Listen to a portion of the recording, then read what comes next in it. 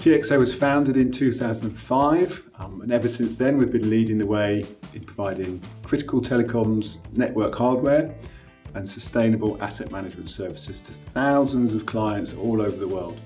Our vision is to be the world's local partner for sustainable communication networks and support our customer base from our HQ here in the UK, um, together with hubs in Australia, Brazil, France, Sweden, and the USA. Personally, I started working with Capital back in 2006. My initial contact was Duncan McIntosh, and even though I've moved roles during that time, I've always taken Capital with me because along the way they've always exceeded my expectations. We began working with Capital Law in 2013. Uh, initially, it was a one off project basis, however, um, our relationship has continued to grow and evolve.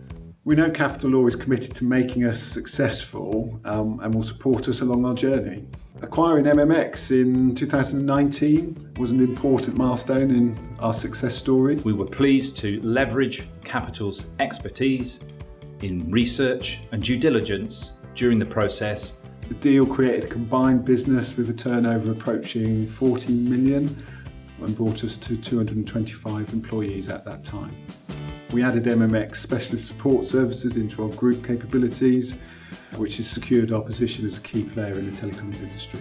We worked with Laura in particular along that process, great support, well delivered, was there at the end of the phone every time we needed her, and that was quite frequent. Being focused would be core value, I'd say, aligns with TXO most with capital law in the sense that it's your expertise, um, our need, uh, and together we deliver on what's important with our key decisions um, along the way. What's next for TXO? We're intending to continue to develop and grow our business. Uh, of course, I'm going to say that. Partnering with Capital Law to provide all the legal services we need to run our business smoothly is key for us as we move forward. What I particularly like about working with Capital is what I feel is a really strong cultural fit.